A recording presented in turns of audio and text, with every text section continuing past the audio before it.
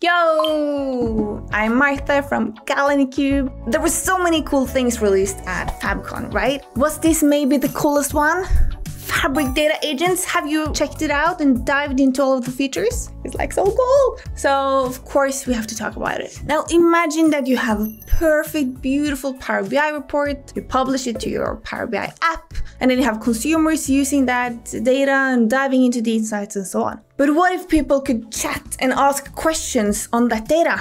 And then they're like, Martha, that already exists. You can do that with Copilot. But what if you could actually customize that chat to make it perfect for your consumers? And maybe you also had another semantic model or a lakehouse or some other data inside of Fabric or Power BI that you wanted to pull in and make available for that chat so that people could ask questions and use all that data to make decisions. So, you know what I like to do? Enough of all this talking, let's head over to my laptop.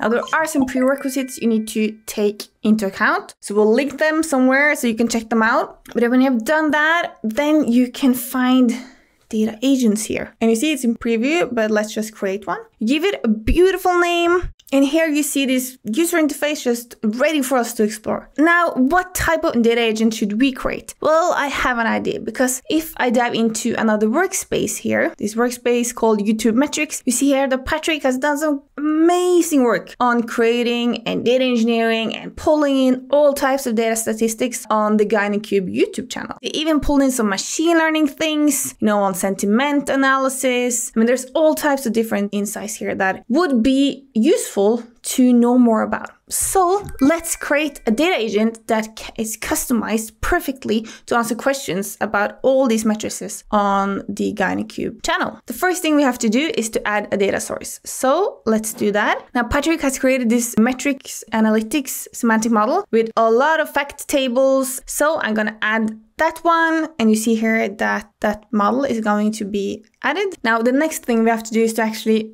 specify the specific tables that we want to pull in. I want to use the dimension tables and also the fact table on the actual video statistics. That's what I want this data agent to be focusing on. Now we also created some sentiment analysis on the comments that people were writing on the actual YouTube videos. So I want to pull in data on that as well. So I'm going to add that. And here again, I'm going to specify what data I want to pull in. And I want to use the gold dim videos and also the comment with sentiment. And you can open up here and see what type of data we have in here. Now we need to help this data agent become smart. So it's not going to be smart just like that. For instance, there are some things here like author. That's actually the name of the person that is commenting. The like count and reply count is likes for the actual comment. The data agent might not understand just like that. So we need to help it a little bit. Now, as always, I have to just mention this is a great use case for you to be very motivated by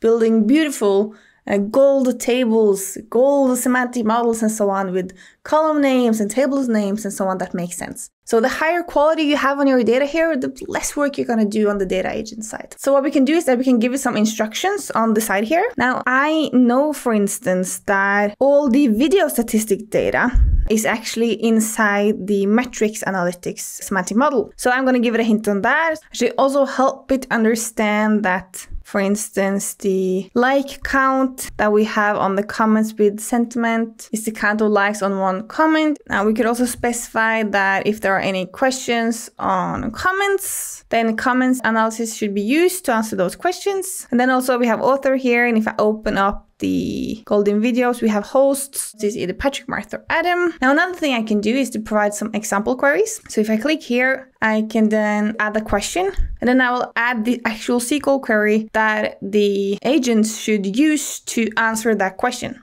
So the question could be what host is the most popular in regards to average sentiment score. Now I'm gonna add the actual SQL query that is gonna answer that question. Now the more queries like this you add, the better the data agent will perform. Remember, it's still in preview. You can't be crazy complicated with all your questions and so on. And you should of course also test it before you actually use it. So then that's added. So now let's try and do some tests. Let's ask it some questions. So what is the total number of views for January 10th, 2025? Here we see it gave us an answer.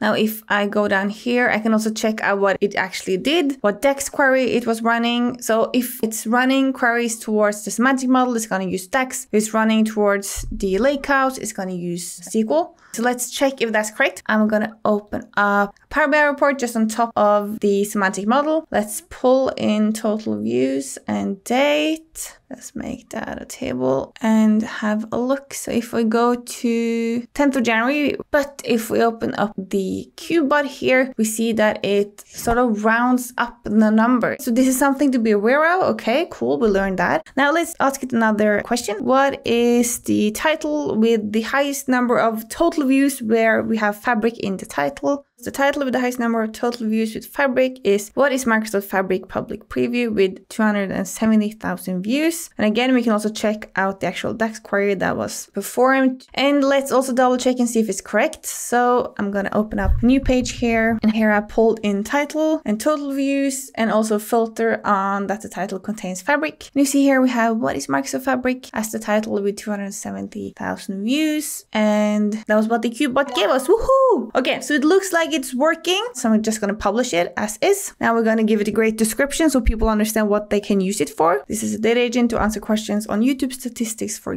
Cube, And I'm just going to publish that. So now obviously we want people to use this beautiful data agent to ask questions and I want Patrick and Adam of course to use it. So what I can do now is to share the actual agent. So I'm gonna do that, click manage the permissions. Now I want people to have access to this. So I'm gonna give it to Adam and Patrick and then just in case.